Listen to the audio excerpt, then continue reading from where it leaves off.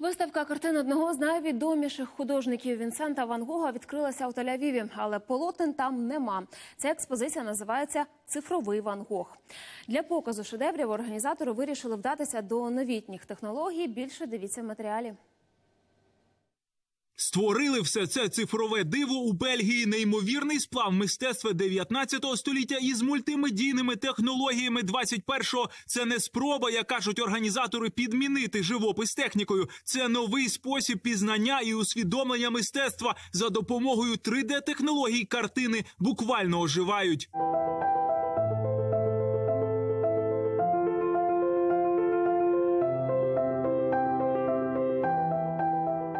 Більше як дві тисячі полотен створив Ван Гог. Виставити їх усі неможливо, не вистачить площі жодного приміщення. До того ж, багато творів у приватних колекціях. Але тут картини змінюють одна одну завдяки цифровим носіям. Можна побачити буквально всі від маловідомих нарисів до широко знаних, як ця пшеничне поле із воронами. Її вважають останнім твором генія. Є тут і своя, так би мовити, інсталяція. Дизайнери до дрібниць відтворили картину Спальня в Арлі, яку митець написав у трьох версіях. Основной это факт в том, что интерес к Ван Гогу он никуда не делся. Он как существовал на протяжении десятков лет и не ослабевает до сих пор. То есть это до сих пор одна, наверное, из самых знаковых фигур в мировом искусстве.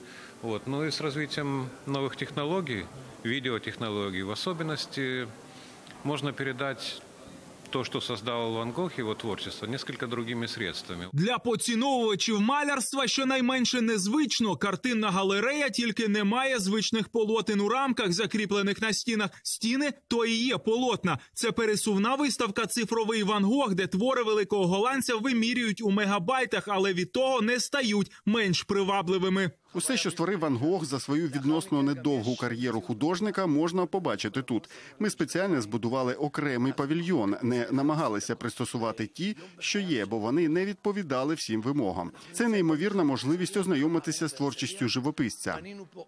Особливий відділ експозиції, який точно не знайдеш у картинних галереях, це віртуальна реальність. Прогулянки із митцем тією частиною Провансу, де він жив. Причому пейзажі створені на основі його малюнків. Це особливий художній досвід, який не підміняє собою мистецтво, а через візуалізацію дає можливість побачити внутрішній світ одного із найбільш суперечливих і великих художників. Іноді важко зрозуміти сучасне мистецтво. До прикладу, що хотів сказати автор ось цієї скульптури. Та буває, що сучасні технології допомагають осягнути мистецтво класичне. Ми з вами живемо у дивовижний час, коли уся мудрість людства може уміститися у невеличкий смартфон, а картини, створені півтора століття тому, оживають. Антон Готліб, Сергій Ауслендер, подробиці, близькосхідне бюро телеканалу Інтер.